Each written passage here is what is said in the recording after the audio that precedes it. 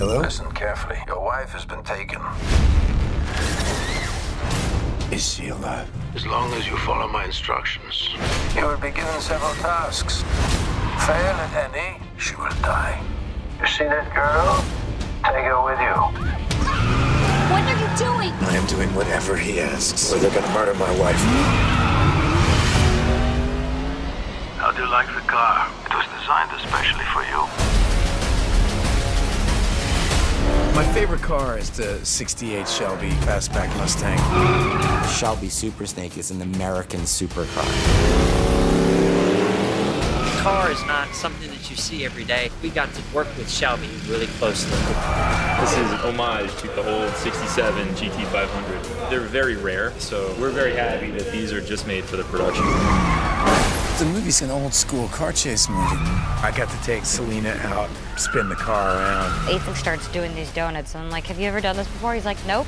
I'm like, great, this is totally how I'm gonna die. Be careful! But he's actually a really, really good driver. Why is this happening? Why you? Because I can drive. You get on the roller coaster you've never been on before. This movie, you can tell some metal was scraped against some asphalt.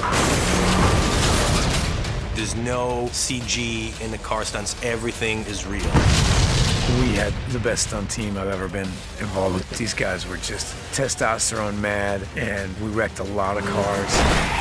We went through 130 cars. We literally had our own junkyard. They're taking a car, hitting it at 55 miles an hour. It's going to pop that front end up like this, and the car sails through the air more.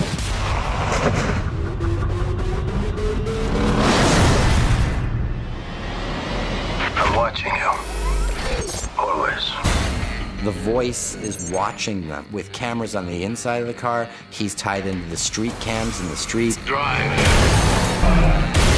As far as the cameras go, that was the first thing to tackle. How do we do this? I need to be told that she is all right and when this is going to be over. We had anywhere from 18 to 42 cameras shooting on every take. The average was somewhere in the high 20s. The cameras are rigged outside and inside, so we almost have a 360 view. Yes, we had a lot of cameras destroyed. We call them the crash cams.